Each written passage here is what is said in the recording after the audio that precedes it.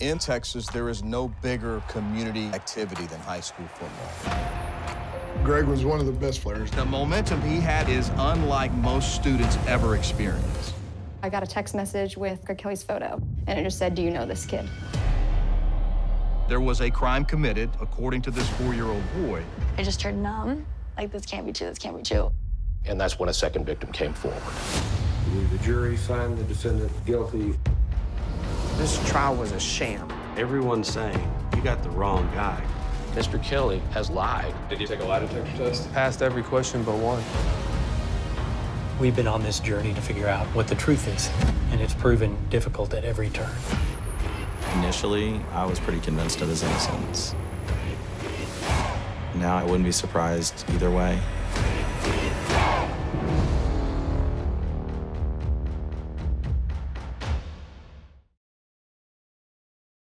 All right, that takes us now to point three, the third of the three title fights, or the first certainly in the chronological order on Saturday night. Peter Yan, Piotr Yan, is your new UFC bantamweight champion. BC, one more time in the championship questions. Go first. In one year's time, assuming he stays active, assuming he fights top contenders, in one year's time, so July 13th, 2021, is Peter Yan the bantamweight champion? Great question. The fact that I don't know without a shadow of the doubt is what makes this division so great right now. Because I didn't think Aljamain Sterling member of this show at times, was as great as the performance he showed against Corey Sandhagen. And that's why you need the best to face the best. And that's why you need. Uh, you know, shout out to Aldo for pouring out the jug for us. You don't need old guy names in this spot when you have this deep of a roster of prime guys right now. I don't know what Yan Sterling is going to look like. I do know it's the fight that needs to happen next, and I do know that because of this performance on Saturday night, I'm going to slightly favor Peter Yan, Peyotre, Peyote, however you want to look at it right now. Because, Luke, if he wasn't as good as he is across all the board, a great veteran like Jose Aldo was going to solve him. And the fact that we actually got to see Aldo hurt Yan and see Yan remain patient, show a great chin, stick to his game plan, and show you so many fashions, facets of his game yet still sticking to his brand of being, uh, you know, an absolute savage of hunting you down and finishing you. This was obviously a breakout performance. He is who we thought he was, and I now need to see him against the very best in order. I love when you got a lot of old names in the division. You got Frankie Edgar, you got Mr. Faber, you got Cruz, you know, Dillashaw is coming back. You got a lot of options here.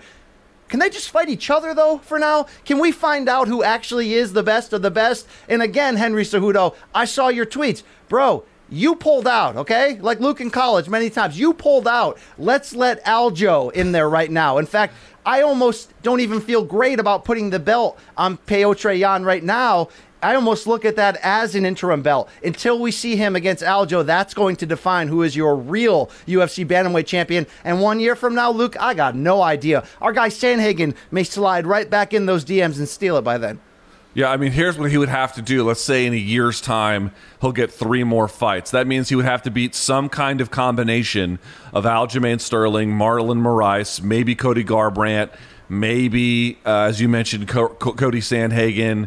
Uh, maybe God, who else is in that division at the top there? If I'm not even thinking about uh, Marlon Pedro, Moraes, Marlon, yeah, Marlon Moraes, Pedro Munhoz could move up. I mean, there's just a lot of different ways that that could go. So, is he the champion in a year? I don't think it's crazy to think that he could be. I think it's crazy to offer a degree of certainty about it because in the Sterling matchup, Sterling's going to have a hard time taking him down or finding the back. He had excellent scrambling skills in this fight and every other one. John Dodson had trouble taking him down. I mean, he is incredibly good at making that difficult. But on the other hand, Aljamain Sterling can fight from the outside. He can stick and move. Maybe that's going to be an opportunity for him. Hard to do over five rounds, but certainly possible. Marlon Moraes has all kinds of tricks himself. Power puncher, power striker. Not the best cardio if he's getting backed up, but still a force to be reckoned with. And then maybe the punching power of Cody Garbrandt. The patience is there. Maybe it's Corey Sandhagen, and he gets up there and shows that his trickery and sleight of hand is what it is. Here's what I know if he does end up beating three of those top names that I mentioned in one year's time, of course, he'll be the champion. A lot more than that. That will be absolutely incredible as an athletic achievement. 27 years old to do that from 27 to 28, beating those kinds of names. At that point, I think you could fully declare outright um, best bantamweight ever, probably somewhere along those lines. And certainly this would be the Peter Yan era. But I don't want to put the cart before the horse, BC. That is a lot of work to do. As you mentioned, TJ Dillashaw comes back. How will he look with his time off? Way too many unknowns. So let's focus the conversation a little bit on Aldo. Can we talk about that stoppage for just a second with Leon Roberts? I know everyone wants to kill Leon Roberts for this, and I'm not here to say that that fight shouldn't have been stopped earlier. It should have. But I, I've been, I noticed something, man. When Glover Teixeira fought Anthony Smith, I noticed that every time the referee in that case, which was Jason Herzog, said to Anthony Smith to move, he did. And yet, here he is losing teeth, taking a beating, round after round, round after round. You're like, Jesus, man, what are you what are you waiting for here? Because here's what I think, this is my theory, BC. What do you make of this? Maybe 10 years ago guys weren't quite playing it up this way, but now they are. At the uh, guys have gotten better in fights about waiting for the referee to give instructions, fight back or move, and then doing it. And they do it long enough, all that ends up happening is they just prolong their beating. But by the letter of the law, they're sort of meeting the intelligent defense standard. Referee asks for action, they provide it. Just enough to stop the fight.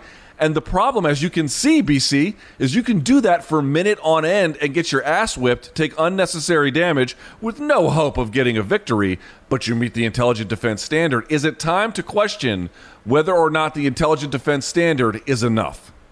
Yeah, yeah, hell yeah, because it's not enough. You got your ass beat for a full minute. You're leaking blood all over the floor.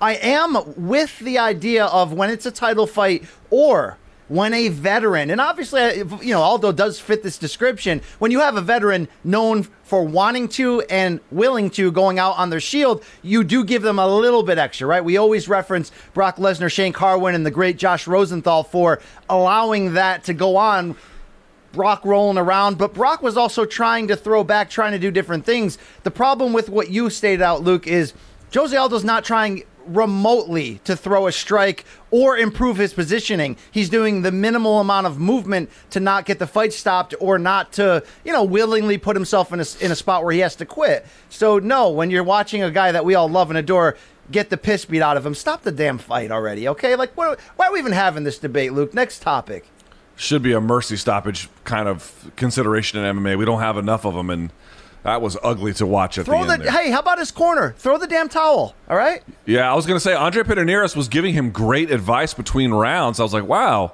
that's really great corner work. And then this happens, and I'm just watching in horror, like Jesus, man, somebody. I mean, Rocky could have saved Apollo against uh, Drago. We all know this, right? He lived and died with that in his in his brain in Texas, there is no bigger community activity than high school football. Greg was one of the best players. The momentum he had is unlike most students ever experience. I got a text message with Greg Kelly's photo, and it just said, Do you know this kid? There was a crime committed, according to this four year old boy.